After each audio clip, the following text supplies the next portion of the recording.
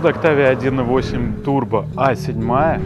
Очень часто вы видите такие машины на нашем канале, но каждый раз, если всмотреться в ролик, каждая работа, она очень индивидуальна.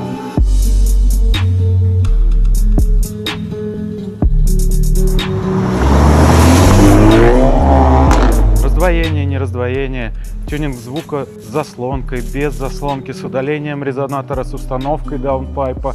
В общем, огромное количество клиентов, и все по-разному делают выхлоп. Здесь обязательно напишите в комментариях, что вы видите другое не так, как у всех сделано. Это очень интересно увидеть, услышать. Обязательно прокомментируйте. Расскажу вкратце. Удалили резонатор, установили банку, в обход банки пустили заслонку, потому что именно так на одном из наших самых популярных роликов на YouTube-канале именно так сделал владелец еще в 2018 году. Далее раздвоение, насадки, необычные насадки, не четырехстволка. Да? Напишите также, кому зашло, кому не зашло, что вы об этом думаете. И, конечно же, звук, управляемый с пульта. Погнали, послушаем. Ну и чуть позже посмотрите на весь процесс.